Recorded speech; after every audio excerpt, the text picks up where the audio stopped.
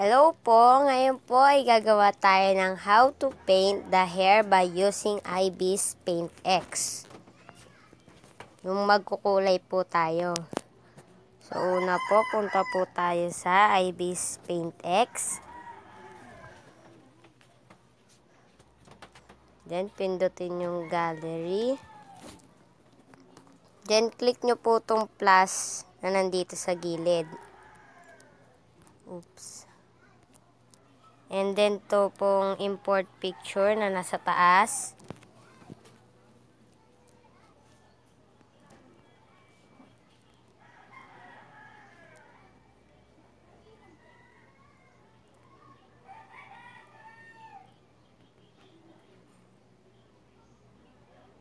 Halimbawa po ay si yan si Jenny.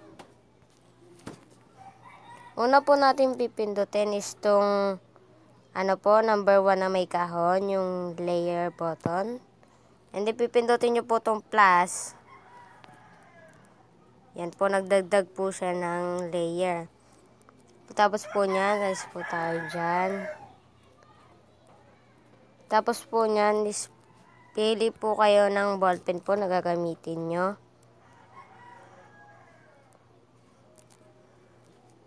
At yung kulay rin po para po sa buhok.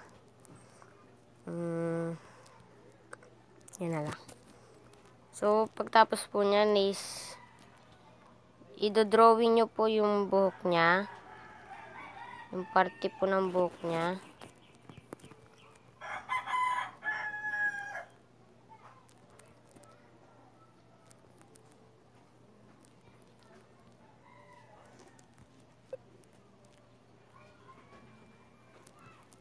Yan po.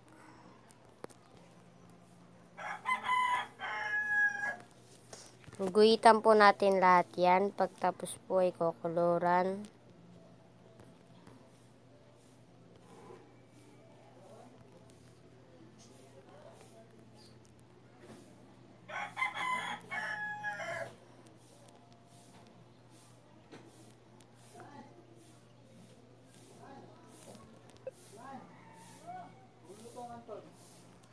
Yan po, o koloran nyo po siya lahat. Lahat po ng buhok niya. Yan po, mayroon po tayo matapos.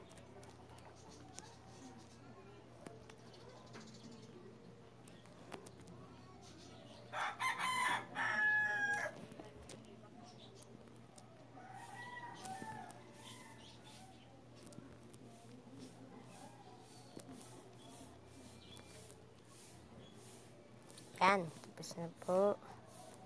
Sunyin mo natin dito.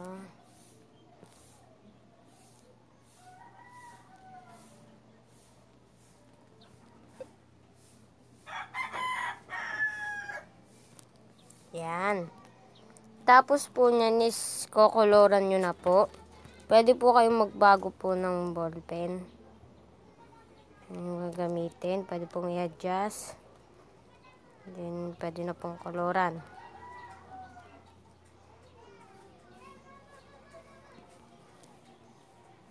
Dapat po hindi po siya lalagpas po dun sa line.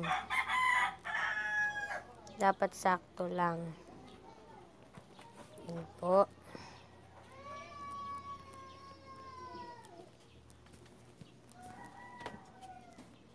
Koloran nyo lang po lahat yan hanggang sa matapos. Yan, lakayan na natin.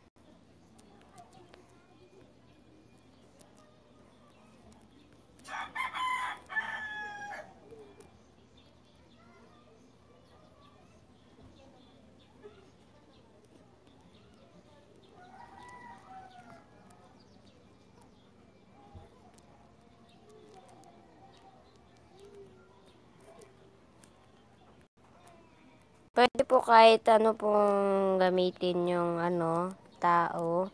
Basta po kita po yung buhok niya. Tapos pwede nyo po itong gawin.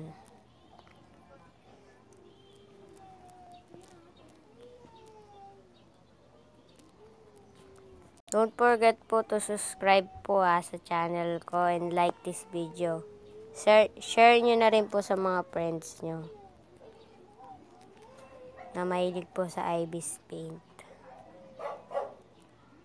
Oops, magpas.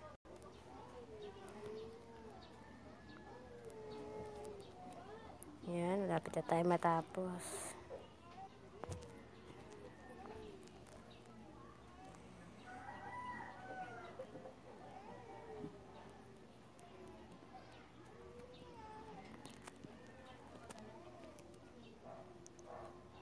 Yung tenga po, hindi na po natin sasama yan.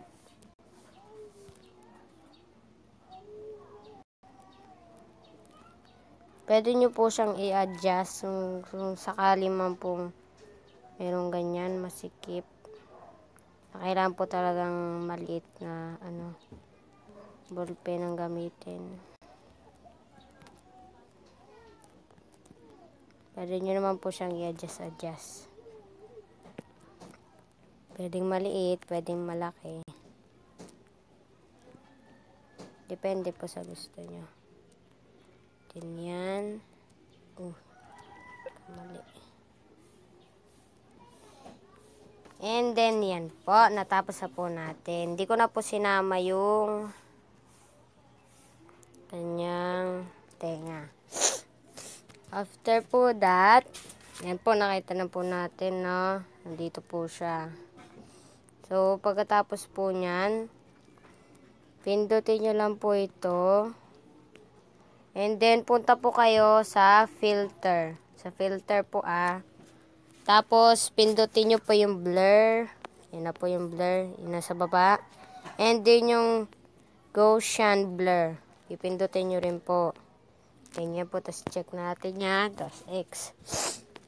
After po that, punta po ulit tayo sa layer button.